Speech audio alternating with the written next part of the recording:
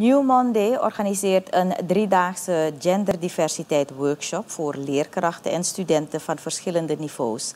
Dit project is tot stand gekomen in samenwerking met Stichting Lobby Health Center, het ministerie van Onderwijs, Canada Fund en de UNDP. Tijdens de training werd ingegaan op de betekenis van genderdiversiteit.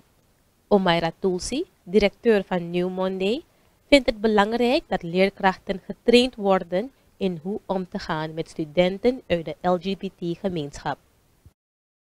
De workshop die gehouden wordt gaat over genderdiversiteit. Um, wat het eigenlijk inhoudt is dat we kijken um, wat is genderdiversiteit, maar wat is ook het LGBT, wat betekenen al die letters. Uh, vandaag is de training voor leraren en wordt er samen met de leraren gekeken naar wat ze als leraar kunnen doen, uh, of decaan, uh, maar ook maatschappelijk werkers die verbonden zijn aan het onderwijs. Om te zorgen dat het onderwijs een veilige plek is voor studenten, maar ook voor andere leraren die enige diversiteit hebben binnen gender. Dus hoe ze zich uiten, hoe ze zich identificeren, maar ook hun geaardheid. Het ministerie was een van de belangrijke schakels in het geheel.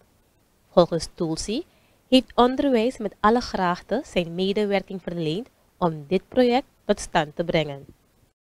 Dus het ministerie stond heel open om uh, vrijstelling te geven voor de leraren om mee te doen aan de training. Dus dat is heel mooi, hè? dat ze laten zien dat ze open zijn. En ze geven ook aan dat ze openstaan om een verdere samenwerking aan te gaan. Dus ik denk heel mooi om te kijken wat de leraren aangeven dat hun behoefte verder is. We horen heel veel al in de introductie dat ze allemaal graag kennis willen vergaren om ook beter te weten hoe om te gaan als situaties zich voordoen op school. Dus ik denk dat dit een hele mooie ingang is om ook te kijken met het ministerie of dit een onderdeel kan worden van het vaste curriculum voor leraren.